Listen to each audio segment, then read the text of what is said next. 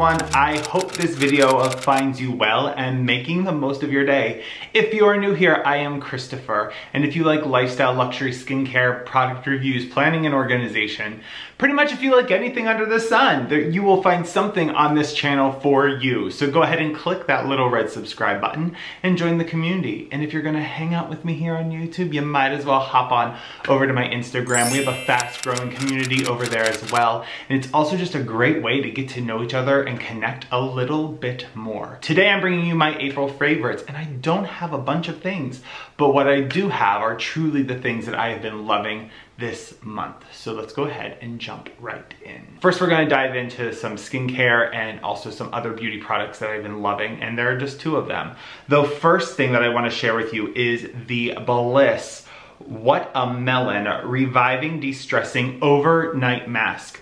I've tried a couple overnight masks, but this is one that I absolutely love. Um, the base is watermelon, and for those who don't know, watermelon is super great for the skin. And what you wanna do with this is massage in a thick layer, and then let it dry down, go to bed, and then the next morning, wake up and rinse it off. Your skin looks so bright, it's so hydrated. I feel like it locks the moisture in overnight. I have been using this pretty much three to four times a week because I've been working out so much. I'm washing my face a lot and it's really drying out my skin and I'm finding that every morning after I use this my skin still feels really hydrated and just looks a lot brighter. I'm loving it and you can pick it up at Target at a reasonable cost. Another product that I am absolutely in love with, once again like I said I've been working out a lot so I've been I'm a sweater when I work out so I've been washing my hair um, quite frequently and it gets so dry. But I have been using the Briogeo Rosarco Milk Reparative Leave-In Conditioning Spray. This stuff has completely helped my hair stay really conditioned um, and so smooth. I don't know if my hair has ever been smoother. And I've also found that styling my hair has been a lot more consistent and easier. Um, and I don't know if it has anything to do with this, but it's really the only thing that has changed. Like it says, you just spray it and leave it in. It has rose hip, argan, and coconut oil. It leaves my hair so silky smooth. And like I said, I've been able to style it a lot easier. During the summer months, a lot of us go swimming. A lot of us are exercising outside and getting sweatier. This is a great way to make sure that your hair doesn't dry out. I am loving it. This is the first time I've ever tried a leave-in conditioner and I'm sold. That is all that I have for skincare and beauty because April was a month that I spent a lot of time working on the house, refreshing spaces. And let me tell you, the first thing that has become a favorite, and I wish I would have started using them sooner in my decor, are plants. I have filled our house with plants. I love A, the aesthetic it brings. It feels like you're bringing the outdoors in. It just makes the house feel so alive and warm and cozy. And I have been putting plants everywhere and just loving how they look. And I would encourage all of you, bring them into your house. It has changed the complete aesthetic of our design and I'm loving it. Absolutely loving it. I actually have a tree you can't see it, but I have like a whole tree right here on my table. The next big home thing for me in April was Target's launch of the Opal House collection. I fell in love with it. I realized that I really liked the aesthetic um, of the Opal House collection, which I was surprised because it did have some brighter colors than I normally would include in my design. But what I really fell in love with was the removable wallpaper. If you watched my Vling Break series, this was the month of removable wallpaper and what a difference it made in the space, how easy it was to apply. I have one more project with removable wallpaper that I wanna do. Um, I just haven't gotten around to it, but I think for such a low cost, it brings such a huge, huge impact to your space. This panther paper completely shifted the whole design of our bathroom. Um, and then we use this one in our powder room downstairs. And yeah, I love them. Besides the wallpaper, I just also love their towels from the Opal House collection. This is a set that have been in my kitchen. They had a bunch, but there was something about this color combo that I loved. And how funny is that? Um, yeah, I love them. If you can, go check out the Opal House collection at Target, pick up a few things. It might feel like it isn't your aesthetic, but you'll be surprised how quickly it can tie in to your design. I'm really loving it. I think it's one of the best collections that Target has launched.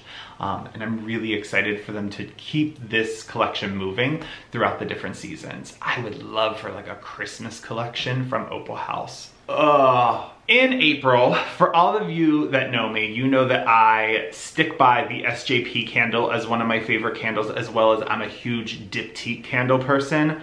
But I saw this on someone's Instagram, I cannot remember. Um, I searched for it. I found their online presence. They're sold in different stores online, but I actually just went to their base um, site and it is the company Craft and Foster. You guys all know I love like a balsam fir pine candle. This one is balsam and citrus. It's a natural soy wax candle. They are hand poured in Southern California. And let me tell you, it is the perfect combination of pine and citrus. I love it so much. This has become my bath candle because it throws so much fragrance and it's so relaxing that I light it when I take my bath. Um, they have a bunch of other candles I wanna try. They're great. Their shipping was also really, really fast, but this balsam and citrus this is what dreams are made of. It is a fantastic candle. I encourage you to explore Craft and Foster if you haven't already because this candle is really, really great. It has been a slow book month for me. I actually read um, the Body Positivity book that I had last month, I believe, um, for a second time just because I find it so amazing. I'll leave it linked down below. Um, it's the Body Positive Body Positivity Power, I believe it's is the title. Um, it's such a fantastic book. Um, and with that, both of the books I have are health and wellness, um, mostly cooking healthier food. Um, we do Blue Apron multiple times a week, but for lunch ideas and weekends, I wanted some other options and I came across two books that I am in love with.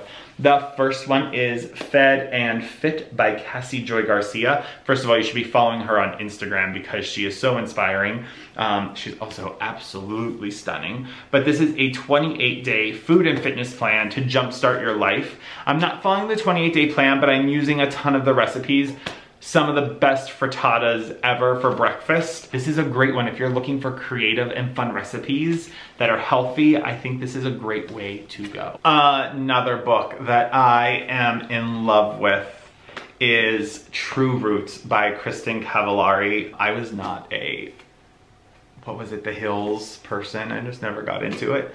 Uh, probably because we didn't get MTV where I lived. It is a recipe book free of gluten, dairy, and refined sugar. It is fantastic. The recipes are great. So far I've made a lot of the breakfast recipes uh, because Blue Apron has covered our dinner, but one of my favorites is the warm coconut oats. I've always been an oatmeal lover, but this oatmeal recipe is the best thing ever. I also really, really enjoyed her writing style. So it actually made me really enjoy the cookbook even more. It's super personal. She talks about her family. Um, yeah, it's just a great book. It's also beautifully shot. Um, I love a cookbook that is really beautifully shot and this is definitely one of them. So True Roots, Kristin Cavallari. So as you know, I pre-ordered my start planner. It got delivered. Videos are coming. I just finished my vision board last night and if you actually are watching my vlog, um, next win this Wednesday coming up, you'll actually see a glimpse of my vision board. But this month I've also been using two planners. I've been working out of these two. Um, and I just gotta talk about this PVC A5 planner off of Amazon. Um, super reasonable, I think it was like $14.99. Um, I ended up buying this really funny, I swear on my Gucci dashboard. And then in my planner, you guys are familiar with this. This is my uh, manifesto, but I am using the cloth and paper capsule uh, planner pages. Really like them.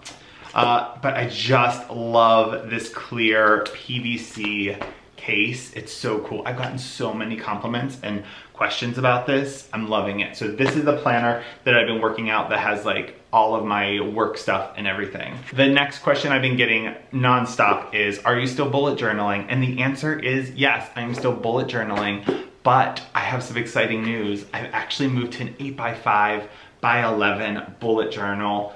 Um, I also included like this little fun leather sticker um, on it. And it has all of my collections in it. So all of my collections I've been keeping in this bullet journal. Things I wanna consume, I haven't finished filling out this page. If you guys would want a video on my yearly collections, go ahead and leave a comment down below. But I am loving this size. Sometimes I found that the Leuchtturm 1917 was just a little too small. This size is so ridiculously perfect. I just love it. Um, I found it on Amazon. Also adapt this as a weekly work notebook. Yeah, loving this bullet journal. Let me know if you're interested in a deep dive um, because I love this size. I wish the cover was a little sturdier, but um, yeah, it's fantastic. Um, one tech favorite that I'm going to share are a set of new cell phone cases I got, and they are these ombre really thin silicone cases so it feels like there's nothing on your phone. This one's like clear to like this minty tealy blue. I have one that's like a dark purple to a teal.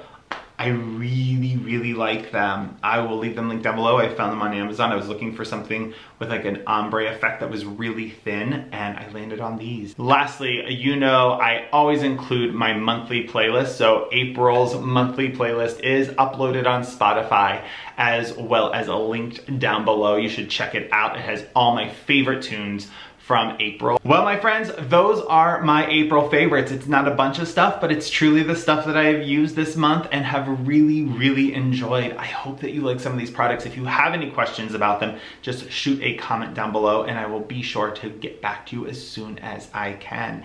In the meantime, if you like this video, make sure to give it a thumbs up. Make sure you subscribe and for some reason, make sure you are still subscribed because I've been contacted by about 57 of you currently that got unsubscribed from the channel. So make sure you're still subscribed and click that little notification bell so you know every time I upload. In the meantime, I'm going to leave this video like I leave all of them. Take care of yourself, take care of others, and be kind. Kindness is free, give it to everyone. Until next time, my friends.